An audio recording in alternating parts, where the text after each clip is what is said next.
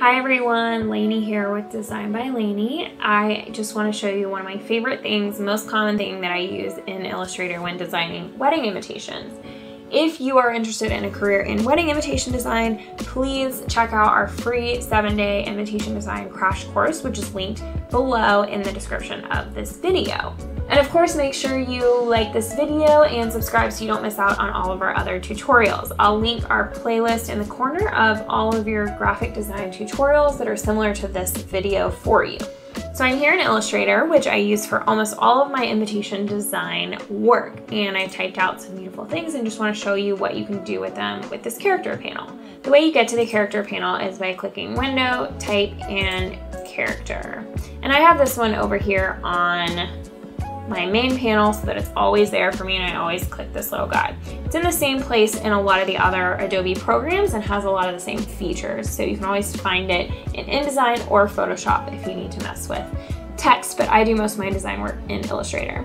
So the number one thing that I typically do is mess with tracking, which is this guy right here, set the tracking. And I just like to have a little bit more space in my fonts, usually somewhere around 50 or even 100, depending on the font. I'm gonna stick with 50 here, make this guy bigger for you.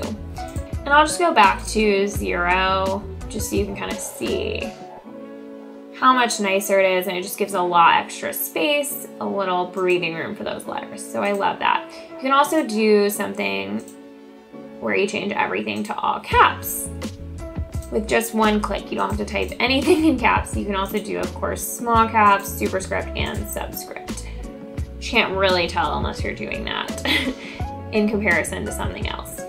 So I often will do all caps or small caps, really liking the small caps in this font. Another thing that you can do is change the line that everything's sitting on. So right now we've got this line that everything is sitting on except for this five is a little bit below that and that's okay, it's part of the font, but sometimes that can get annoying. So you're gonna go over here, which is the baseline shift, and you can just make that go up or down however you wanna do it. I'm not saying I would do it in this particular case, but I definitely find times to use that tool. If you ever need to rotate the font for some reason, like if it doesn't have an italic version or the version that you want is a little too italic, you can also rotate it over here Again, not saying it's the best idea. Let's try that.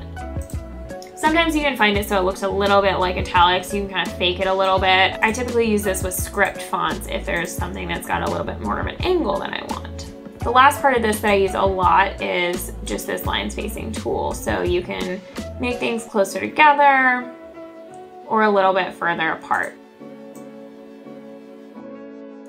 I grabbed this other block of text from a wedding invitation and you can see how spacing is really important. So this one's automatically at about 15 or so, but if we did want to increase that, it makes a big difference into the overall view of the wedding invitation. And I definitely don't like things to be too squished because then these descenders like G's will start to encroach on the other line. So I usually like to keep it a little bit larger than the actual font.